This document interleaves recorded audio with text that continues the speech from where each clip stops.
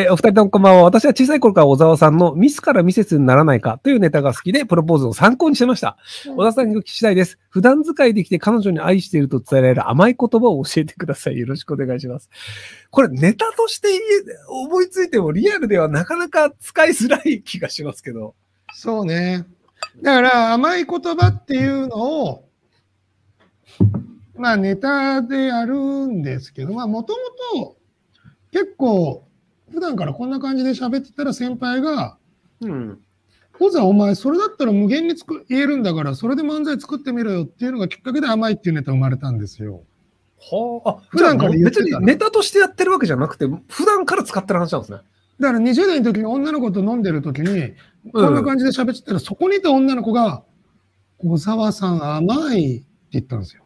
うん。うん。そしたらそこにいた先輩が、それネタにしたらいいじゃんって言って作ったのがこれなんですけど、でもやっぱネタにするようになってからはもう、なんだろう、ちょっとだからかかってたり、例えばこれは仕事でミスが続いてて落ち込んでるから、なんか仕事紹介してやるよと。どんな仕事、毎朝玄関で俺に行ってらっしゃいのキスする仕事。ミスからミセスにならないかっていうくだりがあるんですけど、ほいほいほい。だからちょっとかかってたり、うまいこと言おうとネタではするけど、普段使いだと別にうまいこと僕は言いたいと、あんまり女子に対してはなくて、あ、そうなんですかだ僕ね、昔実際に言ったのは、うん。例えば君のことが好きだとか、愛してるとか、うん。I love you だとか、そういう言葉が地球にはあるじゃないですか。うん。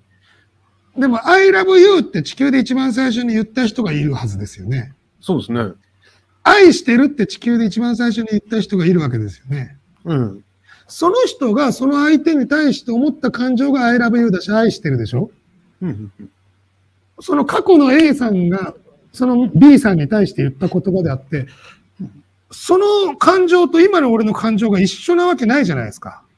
はいはい、はい同じ、イコールじゃないんだから。うん。所詮誰かの作ったセリフであるだから地球上で初めて生まれた感情なんだから、地球上にある言葉を言っちゃいけないと思ってて、だから俺めちゃくちゃお前のことラッチョノエルとか、ほう。地球に存在しない言葉を言いたかった。はあ。